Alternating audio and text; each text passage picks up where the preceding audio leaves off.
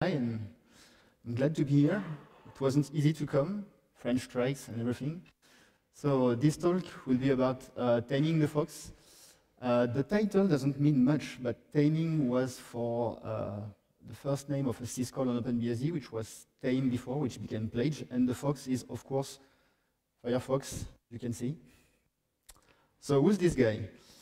Uh, I'm a French guy living in the center of France, far from Paris. Uh, for work, I work in the GIS field, everything which relates to aerial pictures, cadastral information, uh, GIS databases. Uh, I've been working on OpenBSD ports since a long time. I've been uh, hacking on Firefox since a long time too. I've been also contributing to XFCE, the desktop environment, since forever in the end, of course, when you start hacking on things, you end up being the maintainer for the ports. And same thing, I became the de facto maintainer for the geographic subdirectory in the ports tree since forever too. So the topic of the day, uh, five years ago, I did a presentation at EuroBSDCon in Paris, and uh, in the closing uh, slides, there were, yeah, maybe there could be some sandboxing with a pledge, which was a new thing at the time uh, in OpenBSD. And uh, I think the pledge and unveil semantics were not com completely finished. Uh, at the time, WebRTC was also a challenge because having WebRTC working on BSD wasn't a given. So I just tried it. It was easy at the beginning, writing some code, trying to figure out where to put it. It took some years to get there, but now it's fully working. Of course, over the time, I was already confi confident I knew the code base of Firefox, but it, it's still huge. Uh, for that, there's one friend, which is SearchFox, which allows you to grep and find everything in the code. It's really well done. It was really a great help.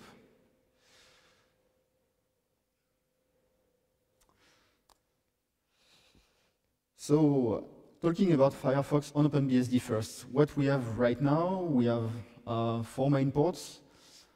The main Firefox uh, I would say, which is the last version. The next version is out uh, in two days. We also have a Firefox ESR branch. Same thing, it's up to date. I've been keeping it up to date without issues since uh, many years. Uh, Thunderbird too, which is also from the Mozilla Galaxy. This one um, doesn't benefit from the pledge and unveil work because right now it's still a one process uh, monster, but we'll come back to it. There's also Tor browser in the port tree. I don't maintain it, but uh, we have a, a, developer who's, who's been really ma maintaining it really well since, uh, since some years.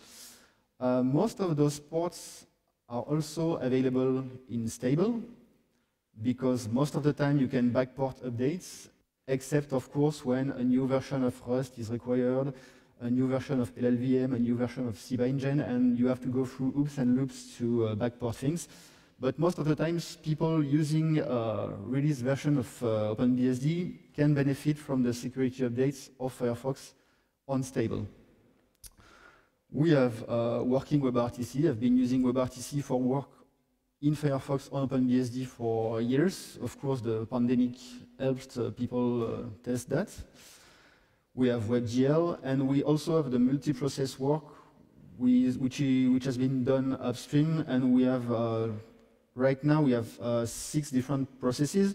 The main process, content processes for web content, GPU for the interaction with the geographic card, RDD is for a remote data decoder, which means all the video, uh, video decoding stuff happens in a, in a separate process. Uh, the socket process is a new one.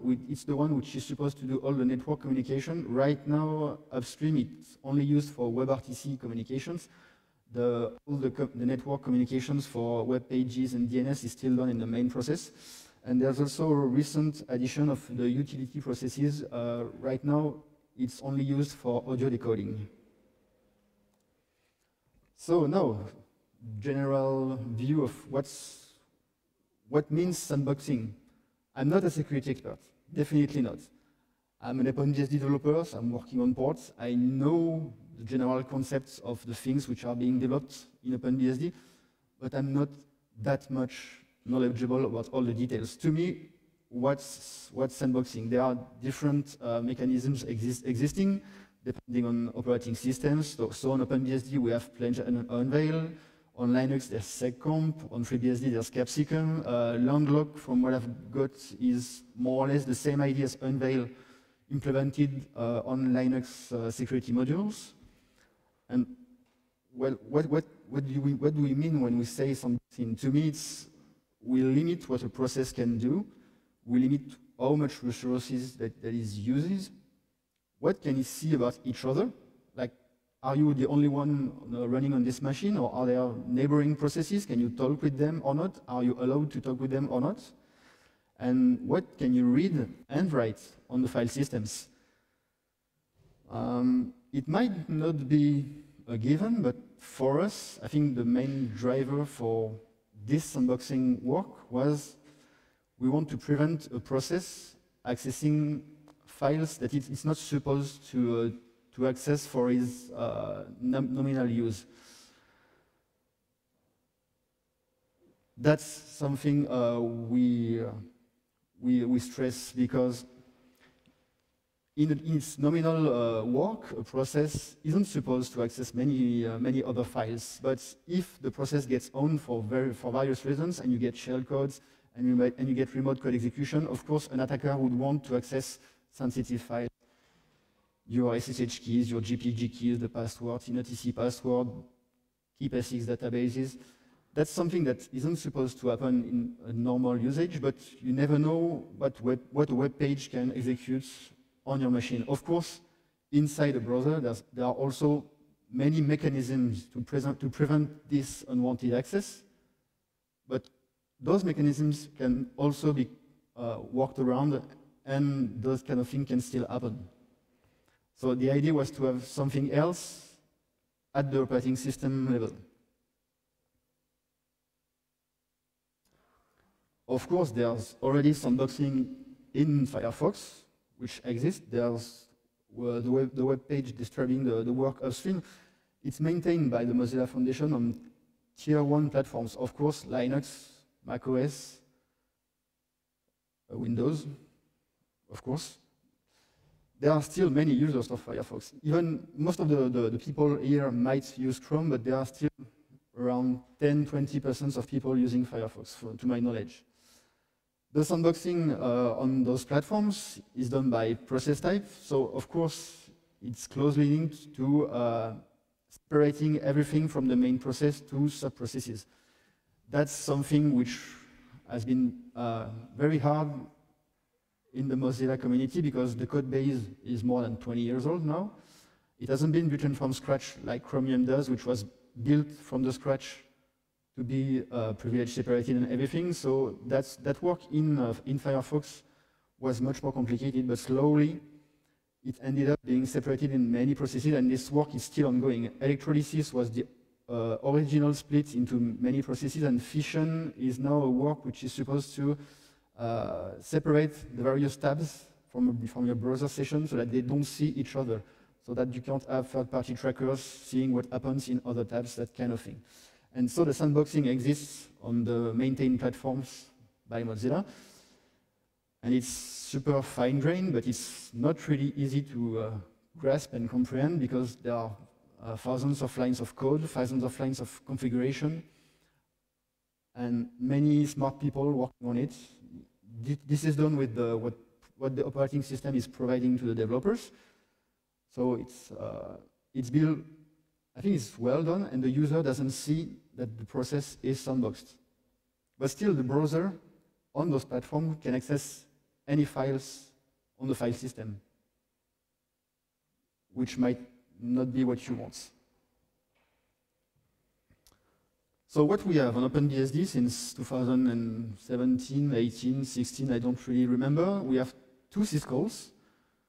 The first one is pledge, which says which a, a, process has to call this, this function and say, I pledge that I'm not going to use more than those syscalls. The, the promise uh, concept is that there's a word which means I'm going to use this subset of syscalls, you call it once, you, call, you can call it many times, but if you call it many times, you only have to shrink the amount of promise you're taking. And if you, and if you call pledge without any argument, right, that means you're not going to use any syscall anymore. You're just going to get killed at some point because you are not allowed to do anything with the, with the kernel, which means in the end, that's what the, the, the sentence comes from the main page. You can only do computation on memory shared by another process because otherwise anything you're doing ends up coding in, in the kernel. And if you do something else, you get killed. Easy, straight away, you get killed. Unveil, on the other side, which came after pledge, you call it with a path and a mode, and it, and it means that you are going to unveil to this process a part of the file system with this mode, either write, uh, read, write, create, or execute. You can call it as many times as you want, and in the end, the process will have a view of this part of the file system, this part, and this part, and this part, and be able to do write, maybe, or only read operations, or only executable operations. And if you call it with null null, it means from that point, you're, you're going to run with only what you have, and you are not going to get more view of the file system. And if you try to access a path, and it's not in the unveil list, well, the system will tell you it doesn't exist. Or if you have read access and try to write to it, it will just say to you, you don't have access to the file. Uh, from that point, the, the question is, when do you have to call them in the process lifecycle? Usually it's uh, most of the processes have an initialization part, and after that, that's the main loop in, in the case of a daemon. So you have to really uh, figure out where, when is the best place to call those, those syscalls. Uh, open everything that you need before, and, and from that point, you just pass uh, file descriptors and everything, that kind of thing. That, those syscalls are done by process, which means you can fork, and the new process will also have to decide what it wants to access. It's totally declarative. You don't do it from outside. The process in its code has to say, I know I'm, I'm supposed to only use these uh, subsets and those files. I need to access to those files. And something else too, a process can't know if it has been pledged or unveiled. It doesn't have a way to know, am I being sandboxed or not? And if, in that case, do something else. That's not possible uh, with OpenBSD, uh, the, the system. So the, the, pledge, the pledge classes, those, as I said, those are subsets. Uh, the first list is an example of the promises used by the main Firefox process. As you can see, the list is large, but in the end, it makes sense. The main process has to do read and write operations, write mostly for the cache, the profile, that kind of thing, and it, has, it also has to do write operations to, uh, when you save a file, it has to be written somewhere. Of course, it has to do uh, network operations, DNS. Since it's multi-process, it has to fork exec processes. It has to send file descriptors to the, those sub-processes. It also needs PS VM info that's uh, in Firefox, we have about processes, which shows all the processes used by Firefox with the memory usage. If you don't go to that page and you don't have the PS and VM info uh, pledge classes, the process will work. But as soon as you go to this page, it will use those syscalls and it will get killed. So you have to have them by default, otherwise you get the browser killed every time. And there are many other classes for various details. I think I checked yesterday and the TTY class isn't necessary anymore. Uh, you need video, of course. If you want to use WebRTC, you, you need to uh, do uh, IOCTL on the video on the, on the video device. So the, the list is, is huge, but those days, most of the things happen in the browser. So of course, it has to have many capabilities. There are some quirks, routes, multicast for some specific uh, IOCTLs. I, I won't come, go, go into the details. But Firefox doesn't use all the pledge classes possible. Firefox can't do IOCTL on audio because it uses the SNDIO uh, subsystem that, that's not needed. Uh, Firefox doesn't change PF rules. Of course, Firefox doesn't write routes to your routing table. So it still has some limitations compared to a process that wouldn't be, uh, that wouldn't be pledged at all. So that's an example of to use. And those are small examples of the ports tree. Other ports, when, where we, uh, the, the, the ones that are used a lot, that we experimented adding pledges depend, depending on what the processes need to do. And in the end, it was much, it was very, very, simple. Uh, update icon cache, which is something that is run all the time when you install a package. It's run every time you install a package which has icons. So it's something that might be critical, might as well pledge it and figure out it only needs to do this, write files, more or less. Desktop file utils is a similar example. Uh, a PDF, PDF uh, display application, you have shitloads of uh, dangerous things in PDFs those days because they can execute JavaScript, everything can happen. And in the end, MuPDF, as an example, only needs stdio and rpath to open the file that you are given on the, on the command line, and then it just needs stdio. Anything that's, in, that's uh, bundled in the PDF file that might be dangerous will end up with the process getting killed instead of the dangerous thing inside the PDF getting executed. Archivers are also a good, uh, a good target for being pledged because there are many, many uh, dangerous things being tried being bundled in, uh, in archives. Those examples are the same. You can open the file and then just say, I'm going to reduce my privilege to, because I don't need anything else. Most of the base daemons are pledged. Uh, most of the utilities are when it makes sense, of course. So that was for pledge. Now for unveils or other examples, I took the same examples. Update desktop database, it just needs to browse all the desktop uh, directories that are uh, where the, the, the, packages install desktop files. And after that, you don't need to access anything else. If there was a malicious desktop file, it couldn't do anything else because it couldn't read anything else. Uh, shared-mime-info is the same thing. It needs to uh, write in a directory, in a single directory in the, in the file system, and it needs to read the file that's given. It doesn't need to know what exists anywhere else.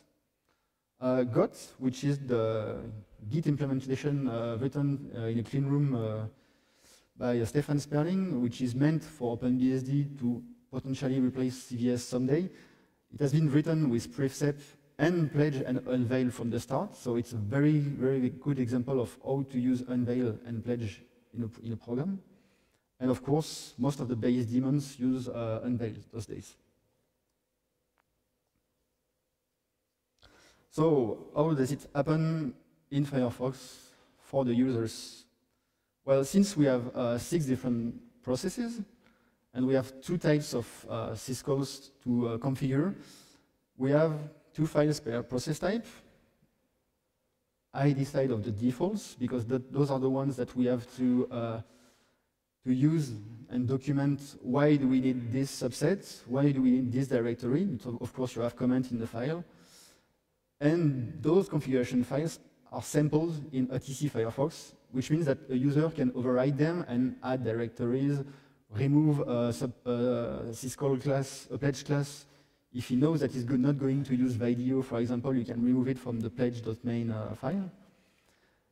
That also means that for some specific use case, you can disable those uh, protections if you want to. I know of one case, uh, which I'll come back later. But you're not supposed to do that for your own good. Those files are read at process startup, we'll come back to that later, and you have some environment files which are expanded to real paths because uh, the XDG, the, the free desktop specifications say that, that you can override some defaults using those uh, environment, variables. That's, that's quite simple so far. Of course, the slides will be online just after the talk. All the, all the links are pointing to the code inside uh, Firefox. If you are interested in, in uh, finding out how much lines of code it, it is compared to what is sandboxing on other platforms. That's the a short excerpt of unveil main for the main process. As examples, it needs to write to the cache directory for all the GIF and PNG files you're seeing when you're browsing. So it needs read access, write access, create access to create subdirs, of course. It needs to, same thing, access .mozilla slash Firefox subdir which means it's, that's where the profiles are. It needs read and write access to the graphic card if you want to do graphic operations, mostly WebGL. It needs read and write access if you want to do uh, WebRTC. It needs read access to the libraries, GTK, all those things. It needs read and execute access to the install uh, directory of Firefox because since it's going to execute itself for the sub-processes, it, need, it, needs to be executed, uh, to have the exec execute rights on this directory, which is that on the USR local li library path, there's only read access. It can't execute anything in this directory. And the last example is you might want to use external uh, MIME handlers to open attachments, to open uh, files that you're going to download. So you just have to specify manually the path of the binary that you're going to use to open PDF, open images, open video, let's say. So there are conflicting opinions about this. When should we call pledge and unveil a program? I've looked at how it has been done uh, in the base daemons and base programs, and it's easy because that's a code base that you are maintaining, that is maintained in the OpenBSD project, and you have the, the full rights of doing anything you want with it, and you know it, you've read it, many people looked at it, so it, of course it's easy to move chunks of code from one place to another because it makes much more sense to have uh, this thing initialized here instead of late, because this way you can remove a pledge promise or you can uh, change an unveil configuration. In theory, that's how it's done for all the base daemons, but for a program like Firefox, that's not really possible. You can't, it's not possible to figure out all the code paths, what codes what, because uh, this morning there was a slide from Daryl Beatty about the, the, number of lines of code of books, and then Linux, and then FreeBSD. And I think if you look at the size of the source code of a browser, it's much higher. So it's not, it's not possible to understand everything how it works. So in the end, let's just be humble and just say, okay, for the other platforms, they started the sandboxing at this point, at this place. Let's just do something simple and start the sandboxing and configure it at the same place. Uh, there was a nice idea which was uh, taken from Windows. I managed to remove lots of uh, rights from the remote data decoding process by preloading a library.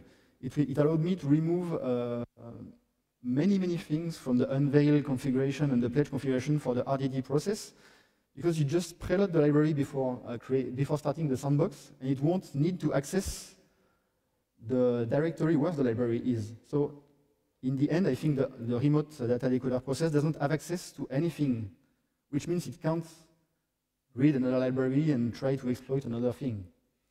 Uh, in the end, it's four functions in the, in the Mozilla code base, which are maybe 300 lines at the maximum. You start the sandbox, which means uh, where are my configuration files, the default ones, or ones that have been potentially uh, modified by the, by, the, by the users. Then you call pledge with those configurations, and then you call unveil with all those configurations, like with all those configuration lines, and from that point, the sandboxing is working. For all the processes, there's a, an entry point where the process, is, the process is started by the main process. Same thing, just call start.bsd sandbox telling it you have to read those two files for this process type.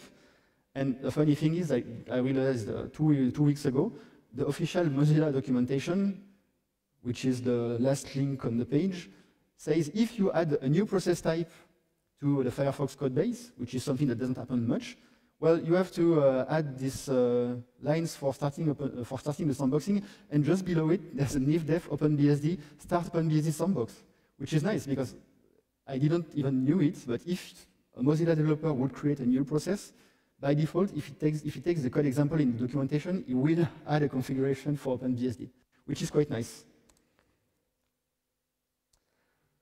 Oh, it happened. Well, when you want to add sandboxing to a new process type, you only have one friend, it's ktrace.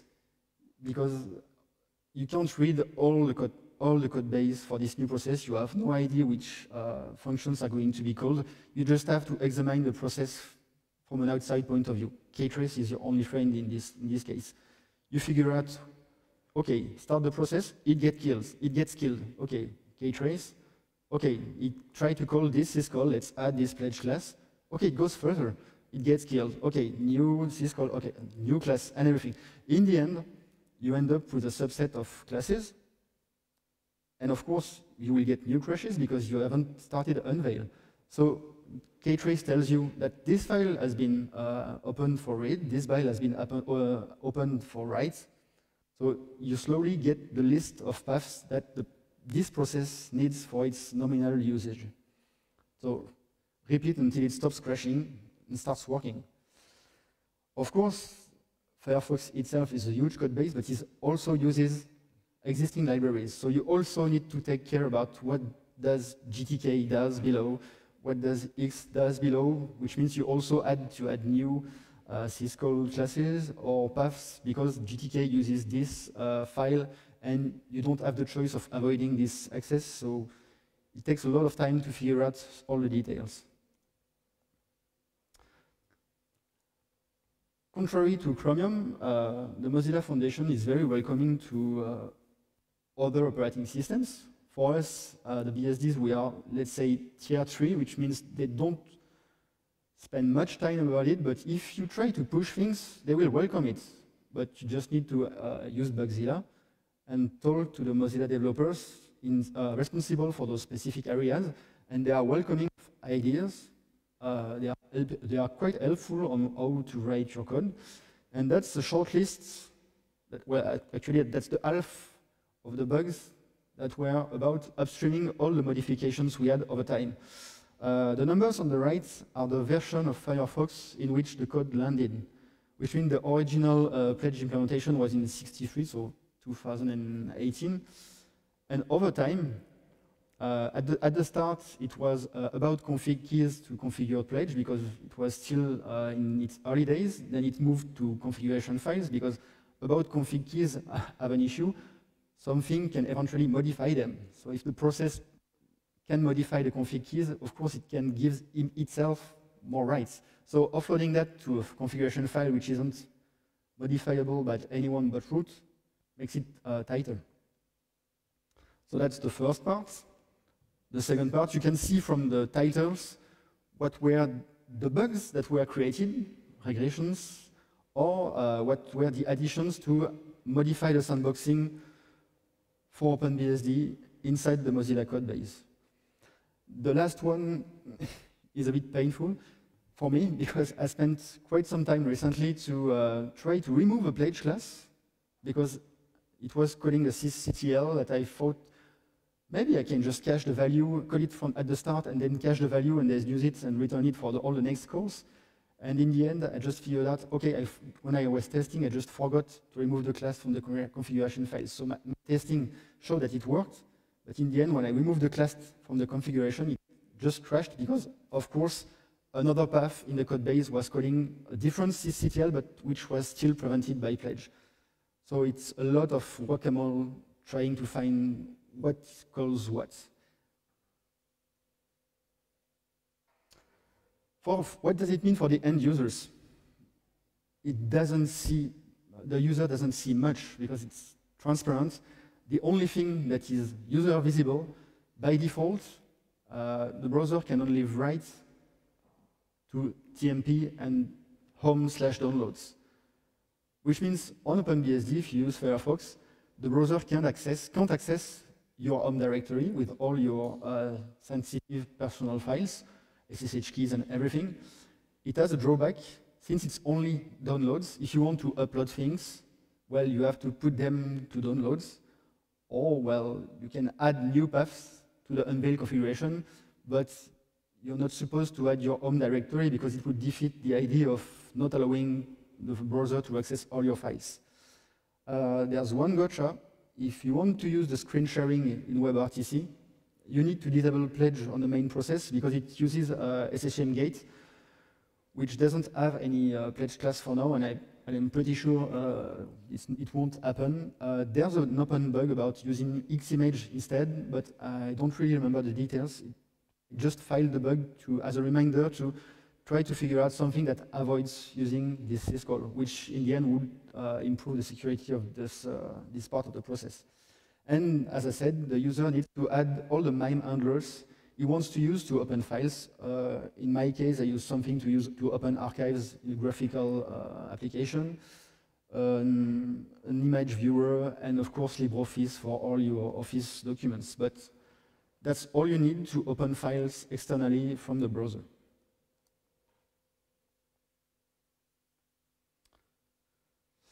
In the end, over those years, I'm pretty happy of what's, what's been done because I have much, much better understanding of what's needed by all processes. All of them need stdio, sendfd, receivefd, rpath. Of course, there's multi-process involved. You can't do much without those uh, syscall classes. The main process and the content process still have access to many directories and many uh, syscalls because, as I said, the code base is old. Uh, it uses uh, external libraries. It hasn't been written uh, with sandboxing in, from the start.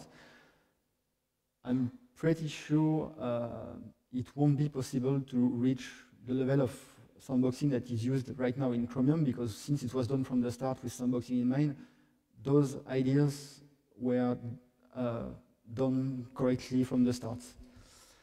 The remote data decoder process only needs to access slash TMP, can't read any other files.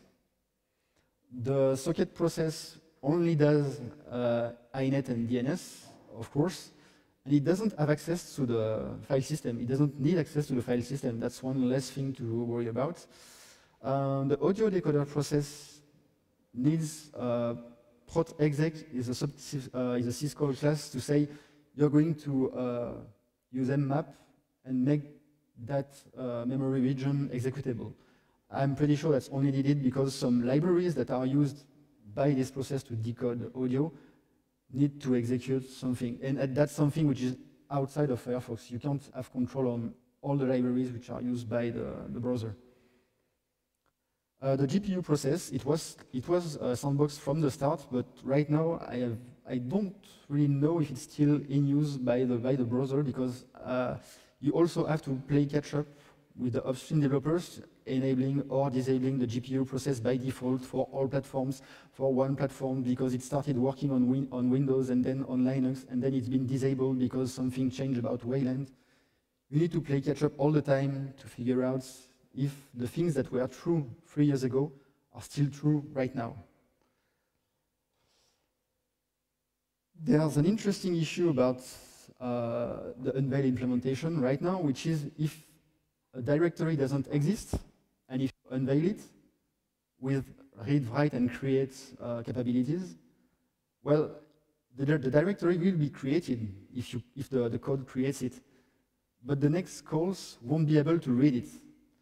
That's a bit uh, counterintuitive, but it makes sense when you look at the implementation because uh, it's done on, based on uh, in the internals on the first layer, which does the mapping between a path and an inode. But it's annoying because as a user, if you have a new user and you, and you start Firefox with the default configuration, you have a new user, uh, home slash downloads doesn't exist. So you start the browser, it creates a directory when you want to download something, but then it will say, I failed to download it, because it managed to create the directory, but since it, it, uh, it was unveiled before being created, it won't be able to write to it. So you need to exit the browser, and then restart it.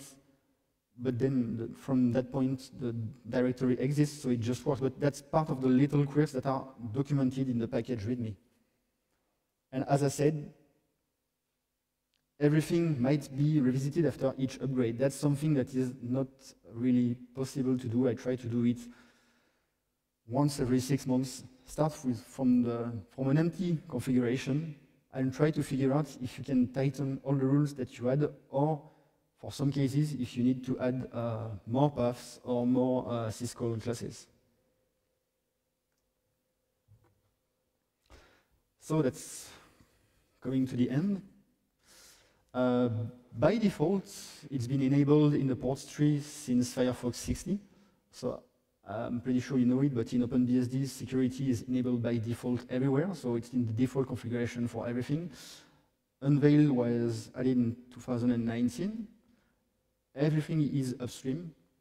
Um, I never, I mostly never add patches to the ports tree which aren't already either committed or tracked upstream being reviewed because otherwise it's a maintenance nightmare. I, as, as Mark said, for Chromium there are 900 uh, patches uh, in the ports tree. For Firefox there are uh, five or six patches, maybe, because the developers are just welcoming from all the, the, the support for other operating systems as soon as you don't try to break everything and you adapt to the rules of the upstream projects. Of course, the promises could be seen as wide, but as I said, it's a huge and old code base, so you can't do really what you want. Uh, upstream is still working to move things out of to different processes. The network communications are slowly moving from the main process to the socket process. At some point, maybe the, the main process won't have network access because it won't need to. But in the end, to do this work, it's a bit raw. You have key ktrace, you have a bit of logging, but it's very, very, very tedious and painful.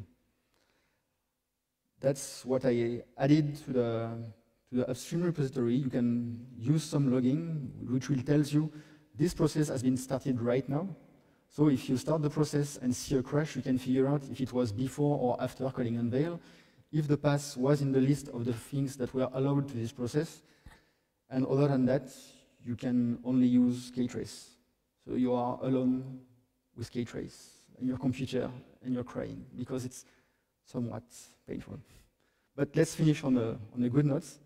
I really liked it because uh, at the beginning, people mostly told me, yeah, it's not possible, this code base is shit, all the browsers are shit. All the code that, that's not been written by OpenBSD developer is shit. I don't agree with that. There are many, many, many smart people working on many, many, many projects. And there are many, many smart people working at Mozilla. They have their own views on how things are done. So it was very interesting to try to shoehorn the, a huge code base, shoehorn how the OpenBSD view of sandboxing in that monster. Thank you.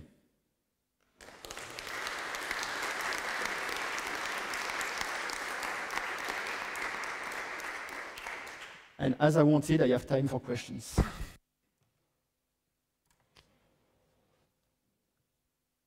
Question?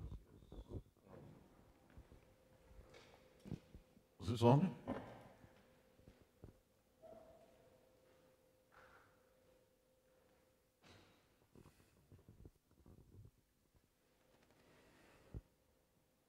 Do you have any way to um, almost like run a, a, dry run mode for your uh, sandboxing so that you don't have to debug everything with ktrace? So run things as if everything is enabled, but don't actually kill the process and just like log the calls that it would make? Uh, you have one thing uh, in Pledge, which is you can add the error class in that case, I don't remember what it does, but the process doesn't get killed. But that's not going to be very helpful because in the end, you still need to use ktrace. Ktrace is not perfect, but it's, it's what gives you the best uh, view of what the, process, the different processes do. And with ktrace, you can uh, trace all the process, I mean the main process and the sub-processes. And after that, it's more or less uh, filtering which processes you're interested to, uh, using timing to figure out what is called before this thing, but it's really black box uh, debugging. But since you have all the source code, um, that's another issue because you have the source code, but you can't easily run uh, that, uh, that huge code base within GDB. Uh, the Mozilla developers wrote RR, uh, which is something which works on many platforms, but not, uh, I, I, haven't, I, haven't, tried on OpenBSD, which is uh, run and replay, which uh, is more or less execute a process, capture what it does, and then do step by step forward in, in, the, in the process code paths, which might be very helpful in this case. But other than that, you can just say, if you have a pledge violation, just log an error, but that's not much, um, not, not, not, not much more, well, honestly. So yeah, K-trace. Any further questions?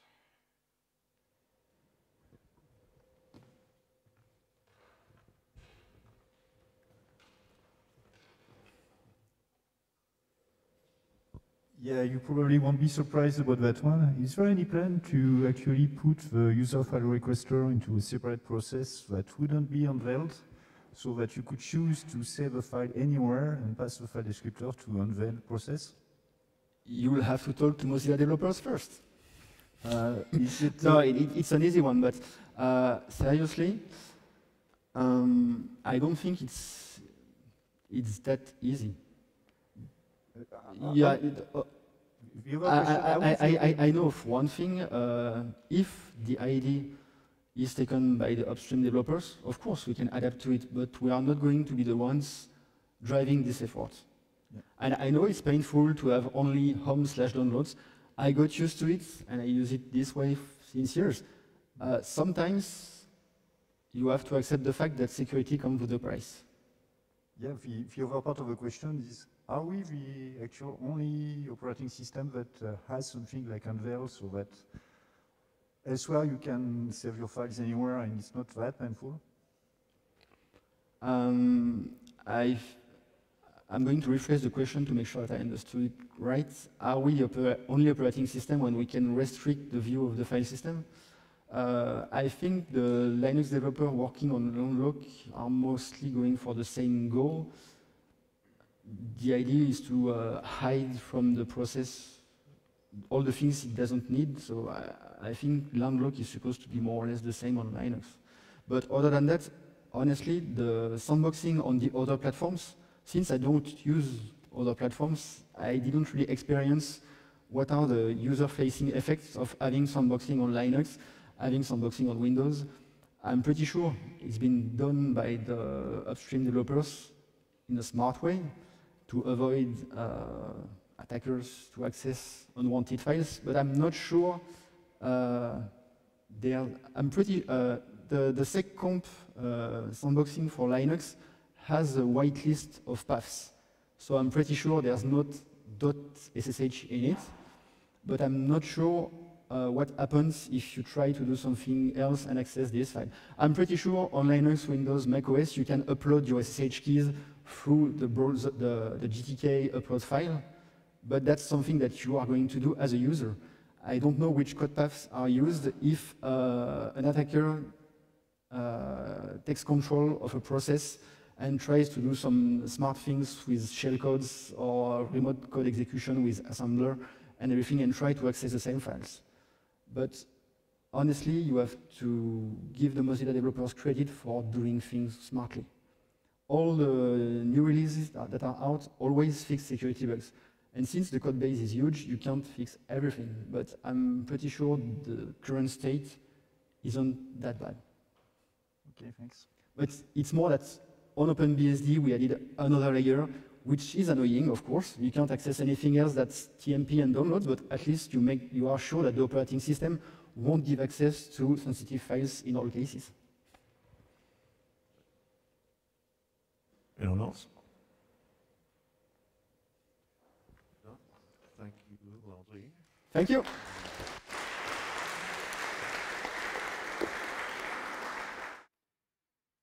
From the organizer.